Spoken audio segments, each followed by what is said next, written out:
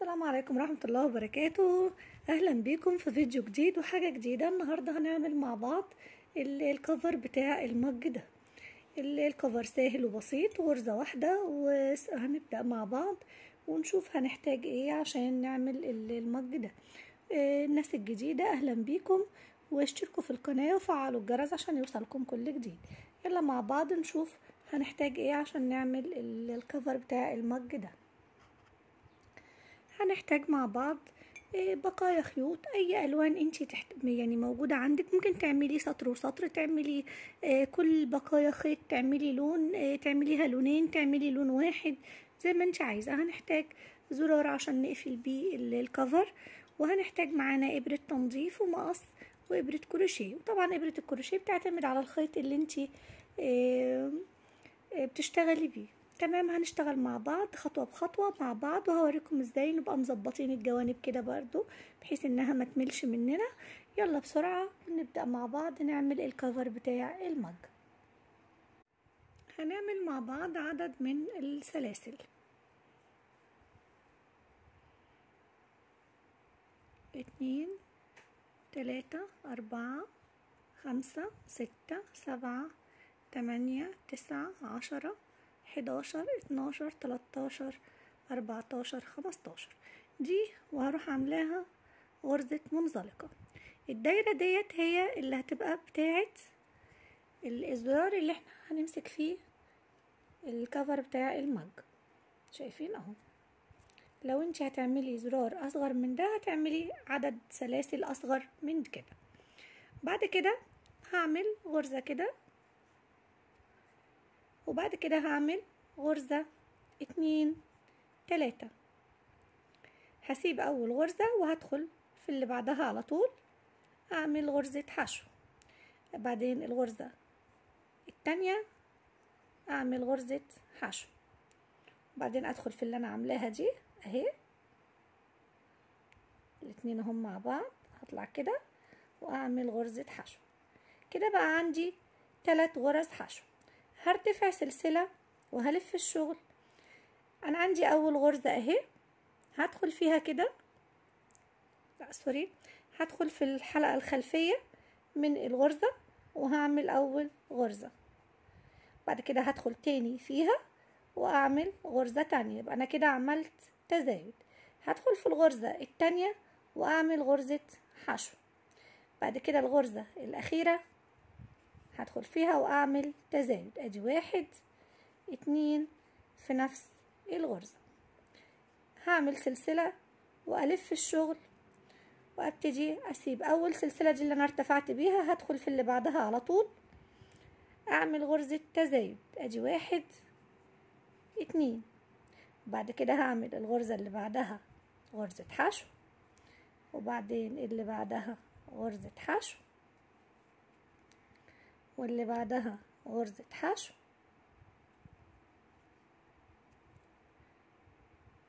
والأخيرة خالص هي بتبقى صغيرة ومش باينة فبتبقى متعبة شوية.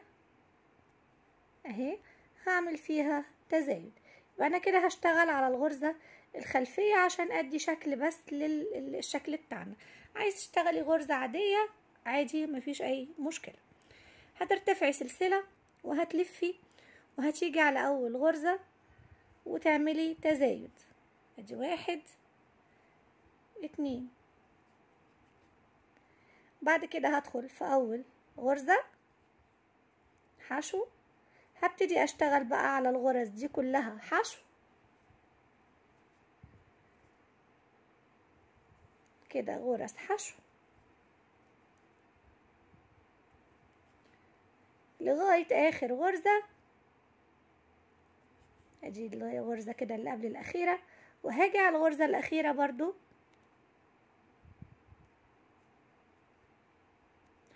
ممكن أعمل كده وألف آخد الإبرة الصغيرة اللي معايا.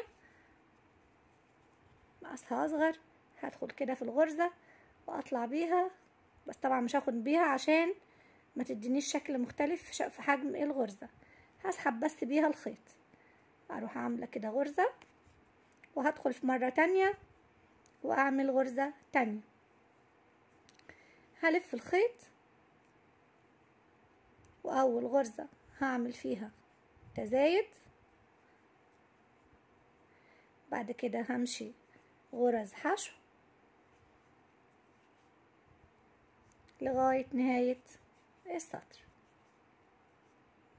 أهو. غرز حشو لغاية نهاية السطر باجي في آخر غرزة حشو وأبتدي أعمل تزايد.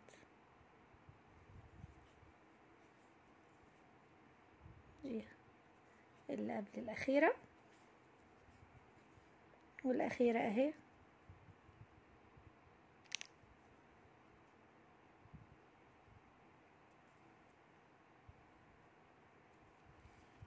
برضو هبدل الإبرة. عشان كده أنا بحب أشتغل بالابرة دي إن أنا بقدر أبدلها وأرجع أشتغل تاني لما أكون في غرزة ضيقة ومش عارفة أشتغلها. أدي أول غرزة وبعد كده بدخل تاني في نفس المكان وأعمل غرزة تانية. هبتدي أشتغل بالشكل ده عدد من الأسطر لغاية ما أوصل للعرض اللي أنا عايزاه. هكمل بنفس الطريقة بزود في أول غرزة وفي آخر غرزة وبعدين هرجع لكم نشوف هنعمل إيه تاني. أنا كده خلصت العرض اللي أنا عايزاه اللي هو هيبقى قد اليد بتاعت المج كده اللي هو هيدخل في المسافة دي كده عشان أكمل بقية الشغل. تمام؟ أنا كده قعدت أتزايد لغاية الفراغ اللي بين المج ده. خلاص كده؟ أهو. حسب العرض بتاع اليد بتاعت المج بتاعك. اهو بتعملي كده. أو لو انت مثلا في مج بدون يد خلاص اشتغلي على العرض يعني ابدأي زودي لغاية المسافة كلها. لو هو مفهوش يد. خلاص؟ وممكن لو هو في يد وانت عايزة تعملي اشتغلي بالعرض كامل. خلاص؟ وبعدين سيبي الفراغ ده يعني دي ترجع لك انت حسب الشكل. بس أنا هعمله يا دوبك بس اللي هي الجزئية دي بحيث لما أنا أبقى ماسكة المج كده يبقى بالنسبة لي يعني خلاص هو يجي هنا الحرارة هتبقى على الحتة دي مش محتاجة أكتر من كده. تمام؟ هنكمل مع بعض. هبتدي أرتفع بقى بدون أي تزايد أو تناقص. هعمل برضه هوريكم عشان الجوانب نحافظ عليها شكلها يبقى متساوي ما يبقاش فيها تجعيده وشكله مش حلو. هنرتفع سلسلة شايفين بقى عشان ما نتلخبطش عليكم حاجة كويسة. إحنا هنا أهو آخر غرزة أهي هروح داخلة فيها كده من قبل ما ألف عشان أهو.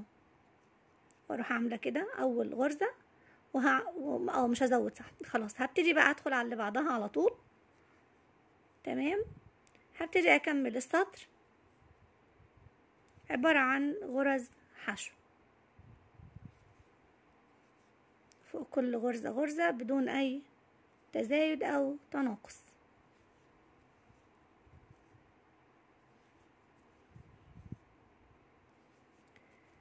هبتدي أشتغل كده. هرتفع. أنا بس هكمل معاكم عشان أوريكم إزاي.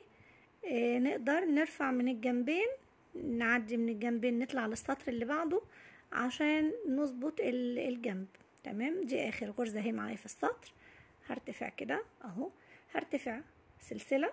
خلاص قبل ما ألف هدخل في أول غرزة أهي اللي هي آخر غرزة عندي. وألف الشغل كده وأسحبها. دي أول غرزة عشان ما تتلخبطيش. هبتدي أشتغل برضو فوق كل غرزة غرزة لغاية الآخر. أنا كده هشتغل لغاية الآخر بنفس الطريقة بدون أي تزايد أو تناقص. هكمل بقى لنص المج يعني أنا أهو هعمل كده. لأن أنا عايزة أغير اللون. هعمل كده أهو. هشتغل لغاية نص المج بس وبعدين أرجع لكم أقول لكم هنعمل إيه في النص التاني. خلصت الجزئية اللي أنا عايزة أغير فيها اللون. أنت ممكن تكملي بنفس اللون. ممكن تعملي كل سطرين لون. إحنا بنستفيد من بقايا الخيوط اللي عندنا. أنا دلوقتي أهو هاخد المقاس كده. أنا عايزة أخلي اللي هنا تحتها هيبقى أبيض عشان يبقى اللونين باينين مع بعض. فانا مشيت لغاية المسافة دي. تمام؟ هبتدي أغير اللون للون الأبيض. أي لون أنت عايزاه إحنا بنحاول إن إحنا نستفيد من الألوان اللي عندنا أو بقايا الخيوط نعملها أي حاجة. خلاص أنا آخر غرزة هنا هون. ببتدي أسحب الخيط. أهو بخلي معايا الخيط الأبيض ده. أهو كده بخليه لتحت كده. بشد الأخضر للزرع ده. وهرتفع. سلسلة وهلف الشغل. دي طبعا السلسلة هي كويس فرصة إنكم تشوفوا اللي إحنا بنعمله. آه دي السلسلة دي أنا مش هعمل فيها حاجة هاخد آخر سلسلة عندي وهبتدي أطلع عليها كده برضو على الحلقة الخلفية من الشغل زي ما إحنا شغالين. وهبتدي أشتغل بالشكل ده. نفس الطريقة هي هي هكمل بيها برضو بدون أي تزايد أو تناقص. بتحافظي على السلسلة الأولانية دي إنها مش من الشغل عشان يظبط لك الجوانب وتطلع معاكي الجوانب مظبوطة بالشكل ده. مفيش يعني ما بقاش فيها ميل وشكلها حلو لأن في كتير مننا بيغلط في الجوانب دي عشان بيبقى شكلها مش حلو. تمام؟ أنا هكمل بقى لغاية ما أكمل خالص خالص بنفس الطريقة بدون أي تزايد أو تناقص. طبعا ده كل ده هننضفه بعدين. هكمل كده وبعدين أرجع لكم تاني نكمل مع بعض. وبكده أكون خلصت الطول اللي أنا عايزاه كده. أهو. هدخلها هنا كده أهي.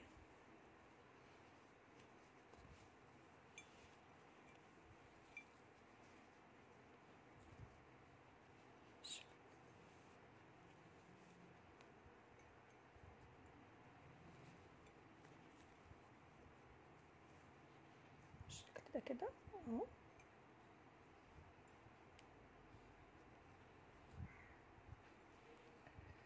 تمام؟ اهو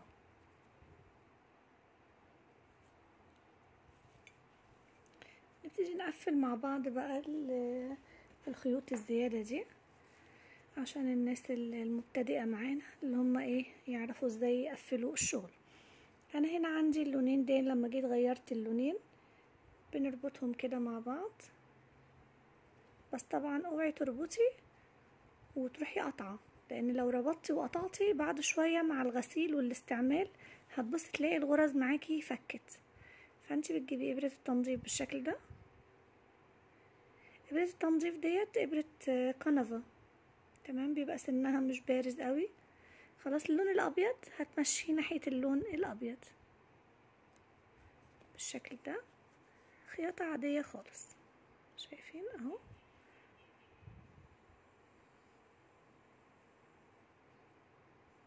بنعدي الخيط.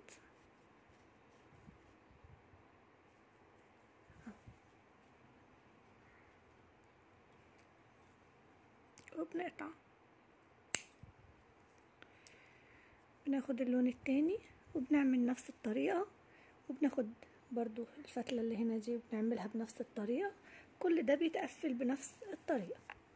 أقفلهم وحط الزرار أهو زي ما إحنا عملنا كده بنشد على قد ما نحط ونحط الزرار بالشكل ده كده هقفلها وأرجع لكم. قفلته أهو تمام. شايفين؟ ركبت الزرار تمام أهو. وبكده نبقى خلصنا الفيديو بتاعنا النهاردة. يا رب الشغل يكون عجبكم وكونوا استفدتوا منه. الناس الجديدة يا ريت تشترك في القناة وتفعل الجرس عشان في حاجات جديد كتيرة جديدة. إن شاء الله في الفترة اللي جاية. كانت معاكم رضا أحمد. السلام عليكم ورحمة الله وبركاته.